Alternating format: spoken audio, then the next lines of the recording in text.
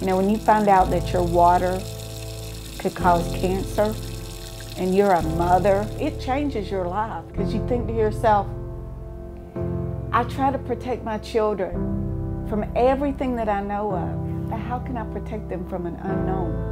When I turn on the faucet, I don't just turn on the water, I turn on fear.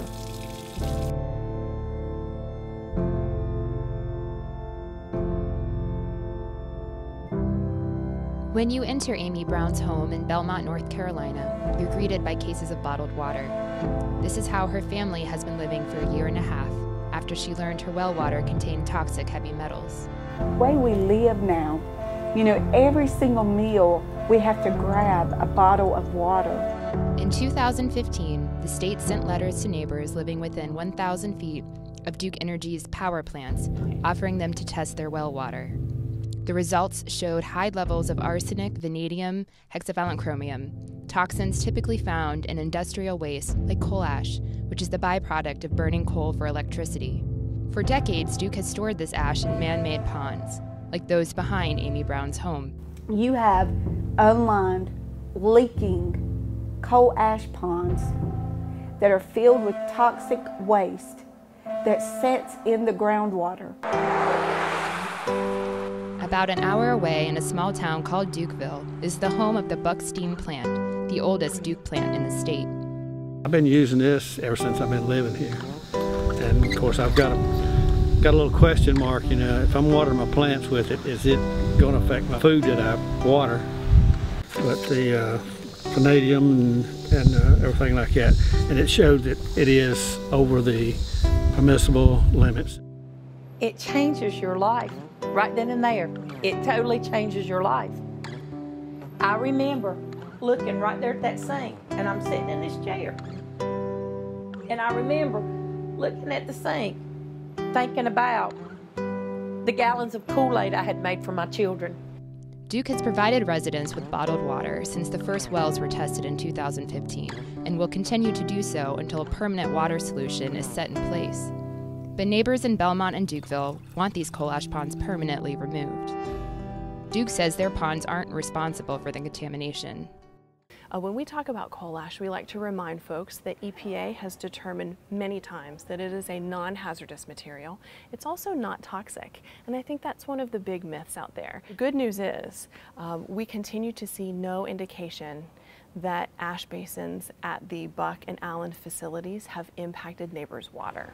And we know that from um, national experts that have come in behind us to study that and provide a greater level of understanding to the company. We wanted to know as well, of course. But environmentalists aren't convinced coal ash isn't a problem. This is just a problem that's been ignored for decades, both the risk to rivers and drinking water supplies and, also to neighbors. And you know, until you actually get in there and get good data on what's in the water coming off the site, you really don't know. What we found in North Carolina is that basically every coal ash site in the state had groundwater violations at what they called their compliance boundary, the boundary at which you weren't supposed to have contaminated groundwater going off the site. And I'm afraid that as we look around the country, we're going to see that this is a really widespread problem that a lot of states up until now have not done anything about. In 2014, Duke came under fire after a massive coal ash spill in the Dan River in Eden, North Carolina. Duke has since paid more than $100 million in fines to clean up the damage.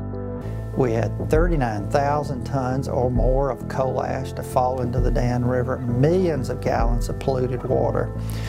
And it woke up the state and the public of the state, which had already been concerned.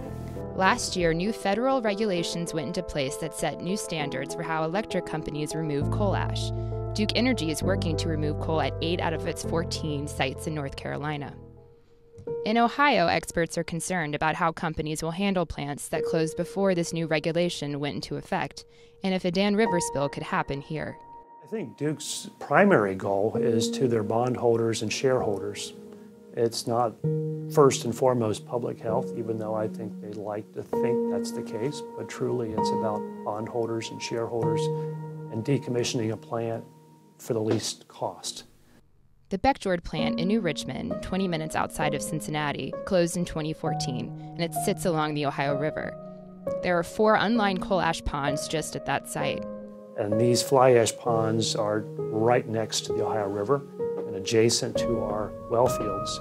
Uh, so a flood could easily breach those dams. Um, there are at least 5 million people downriver in the Ohio River getting their water supply from the river, um, and they should be concerned as well. I'd hate to see where all 5 million people are living off of bottled water. There are 44 unlined coal ash ponds at more than a dozen power plants in Ohio. You've got 44 unlined coal ash sites in the state of Ohio. You've got 44 disasters waiting to happen. As electric utilities take steps to deal with coal ash removal, residents in North Carolina are still left waiting for answers. They want to know when their water will be safe again. What will your children remember when they grow up? What would their childhood memories be? Mine will remember the time that we lived on bottled water and their mother had to fight for protection to try to protect them